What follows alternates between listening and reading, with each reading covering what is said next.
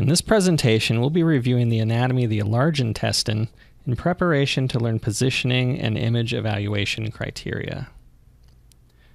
The large intestine is approximately 5 feet long and begins at junction of the small intestine and ends at the anus.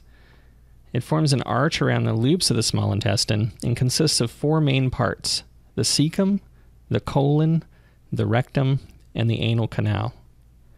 The colon itself has four portions, listed in order of antegrade stool travel the ascending colon, the transverse colon, the descending colon, and the sigmoid colon.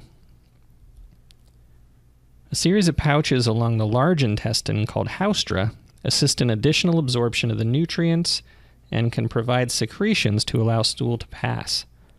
Muscular bands that help form the haustra are called teniae coli.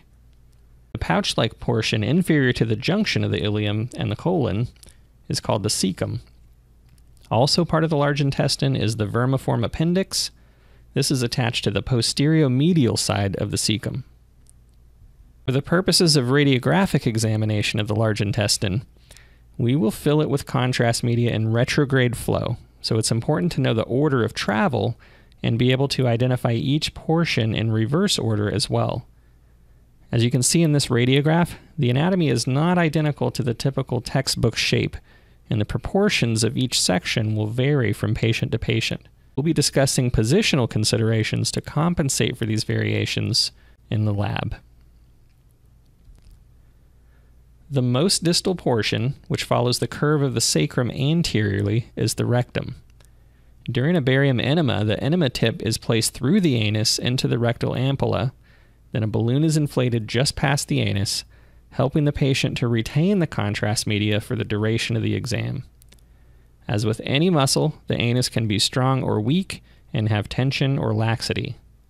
It will ultimately be up to the radiologist to determine the proper amount of balloon inflation required, but the technologist will insert the enema tip. There are three main turns that the colon takes between each of its four sections. The right colic flexure, also known as the hepatic flexure, has a sharp angle connecting the ascending and transverse colon. This flexure is more inferior to the left colic flexure due to the presence of the liver, which displaces it inferiorly.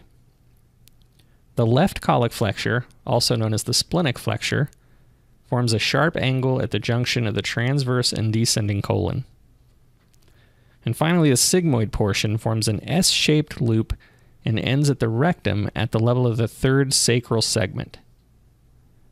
The rectum extends from the sigmoid colon to the anal canal, and the anal canal terminates at the anus. The function of the large intestine is for the reabsorption of the fluids and elimination of waste products in the form of feces.